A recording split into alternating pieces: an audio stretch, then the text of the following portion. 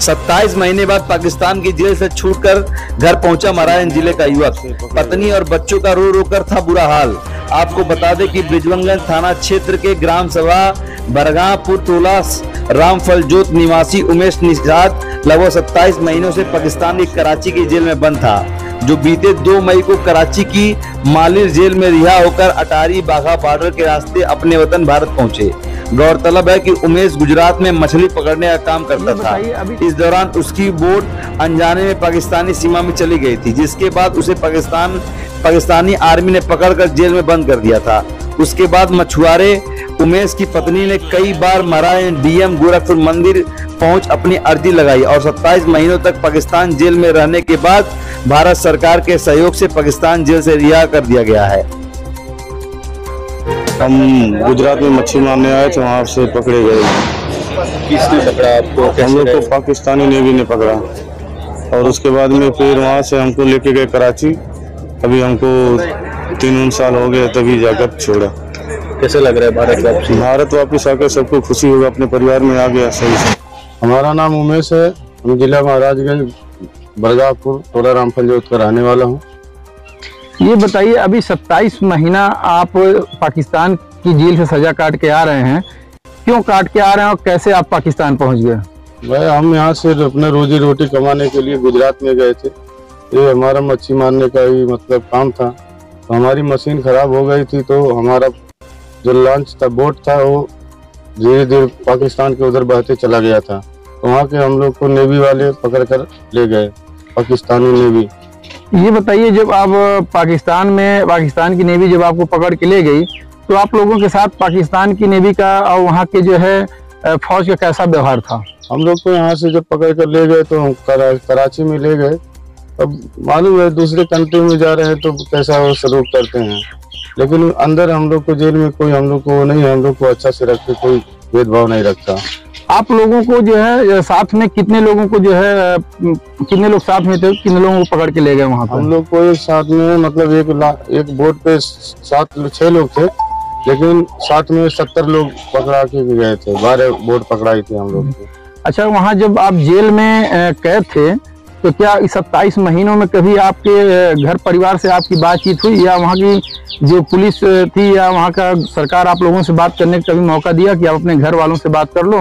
नहीं, केवल वो बोल रहा था कि अगर पुराना कोई लेटर है, ऐसा रजिस्ट्री है जिसके पास है, वो खत भेज दे। लेकिन ऐसा कोई वो नहीं था डाक खाने तो कितने बंद पड़ गए हैं तो उसके लिए कोई बातचीत नहीं हुआ तब से।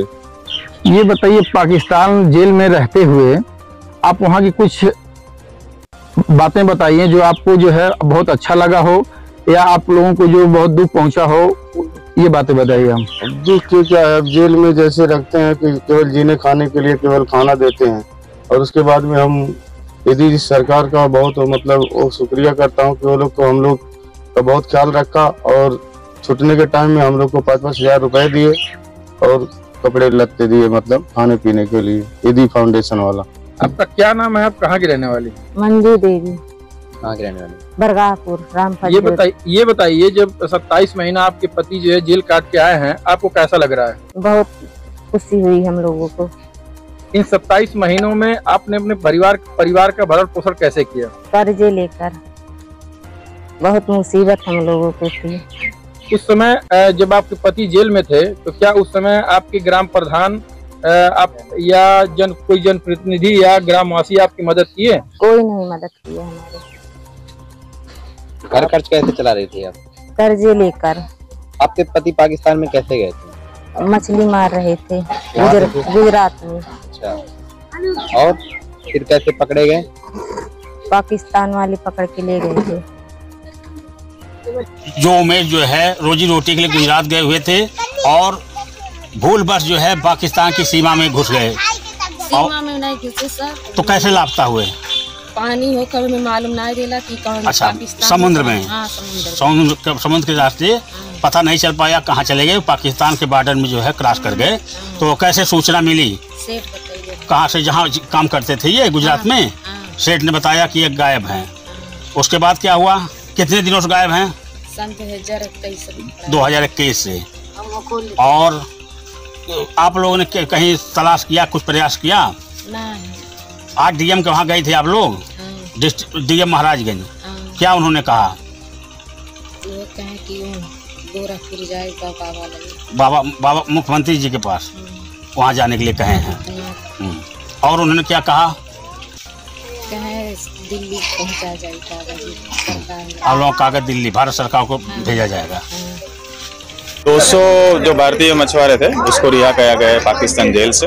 तो आज वो अमृतसर से यहाँ पर बड़ौदा लाए गए। यहाँ से वेरावल उसको बाई बसेस जाएँगे। अब कितने सालों के बाद ये लोग वापस तीन से चार साल बाद रिहा गया गया किस तरह प्रोसीजर होता है सर? इंडियन सबसे पहले जो वहाँ पर पकड़े जाते हैं कराची जेल में उसको रखा जाता है और तीन चार साल बाद उसका सब वहाँ से प्रोसीजर करके उसको लाहौर लिया जाता है। लाहौर इमिग्रेशन कंप्लीट करके वाघा बॉर्डर पे एक्सचेंज होते हैं सर। और वहाँ पर जो अपना जो भारतीय इमिग्रेशन जो डिपार्टमेंट है, वो उसका क्लियरेंस करके फिशरीज डिपार्टमेंट को हमको हैंड ओवर कर देते हैं। फिर उसको हम लोग यहाँ पर ले रहे हैं। आप देख रहे हैं डीवीएस न्यूज़